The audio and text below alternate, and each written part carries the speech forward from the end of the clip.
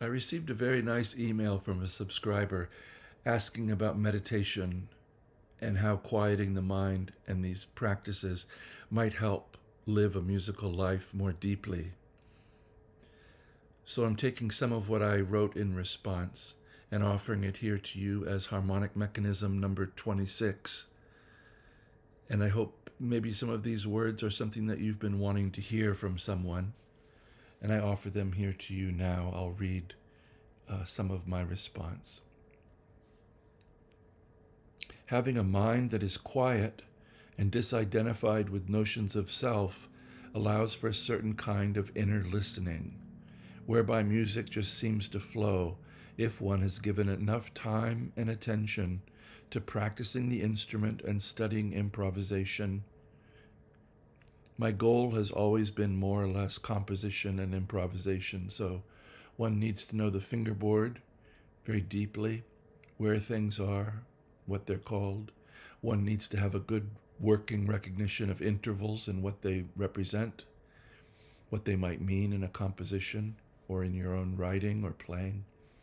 One needs to know a little bit of theory, and you can add to this all the time with sustained dedication and perseverance and work just a little bit at a time. There's so much available on YouTube as far as theory instruction goes. Take it slow. If you have questions, feel free to reach out to me anytime.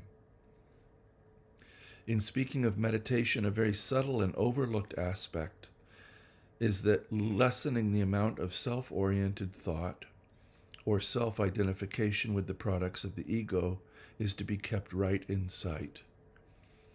So, as opposed to questions of what or how being important, the fundamental question in life is who. When we say, I think this or I want this, who is the I that speaks or wants? If we can still this voice of I, then we might find something beyond time and space and is therefore eternal. It's quiet, it's resting in your heart always. It's there to be uncovered if you can quiet the discursiveness that skates on top of the mind and keeps it busy all the time.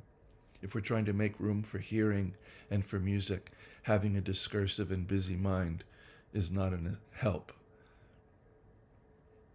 This then gets close to what I feel is the purpose of life, and also that music should serve that purpose as well and it is to lead us to the recognition that we've all been given a world in which we can grow and learn, cultivate and share the highest aspects of human life.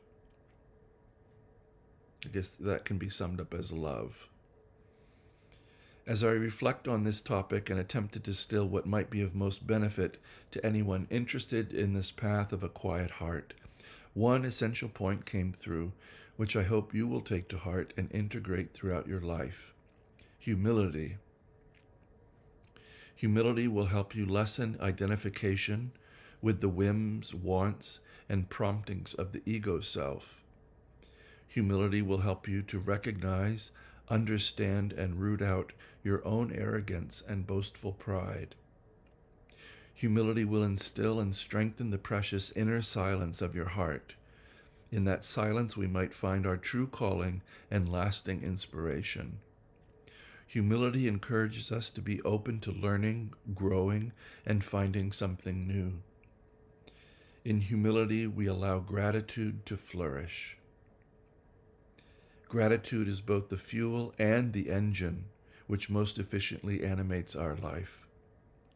If we wish to build lofty structures, our foundation must be solid, and humility is that foundation.